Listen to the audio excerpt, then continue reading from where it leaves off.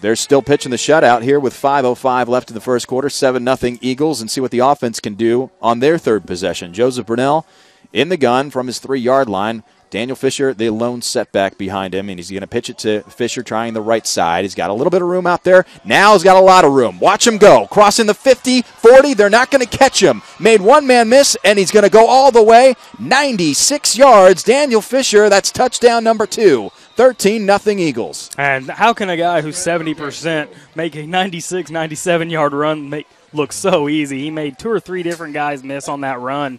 And what a nice job that time by Fisher.